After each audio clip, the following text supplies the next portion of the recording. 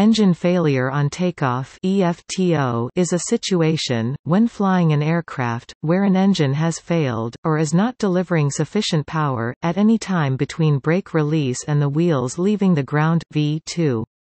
The phases of flight are delineated to allow simplified standard procedures for different aircraft types to be developed.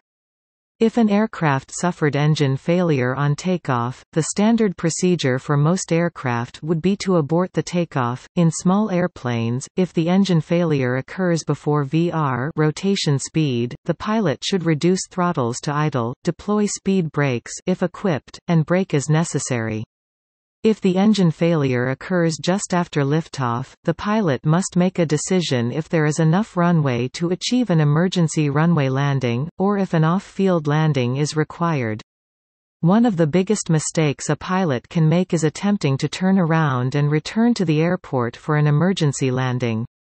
If altitude permits, this could be an option i.e. if at or above 1,000 feet AGL but most pilots are trained to avoid the obvious tendency to turn around and instead land the plane straight forward. Common first steps after an EFTO would be to fly at the best glide speed VBG, retract flaps if airspeed permits, unlatch the door, and land straight ahead. Returning to the airport with a steep turn has a high probability of resulting in a stall or spin. Although it seems counterintuitive, the NTSB has recorded numerous fatal crashes due to this mistake. In large airplanes e.g. commercial airliners, before the takeoff is commenced, the highest speed from which a safe stop can be achieved on the remaining runway is calculated. This speed is called V1.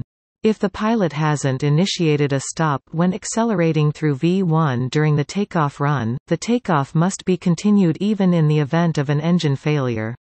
The takeoff weight will have been limited to ensure it is safe to continue takeoff with one engine inoperative after having accelerated to V1 with all engines operating.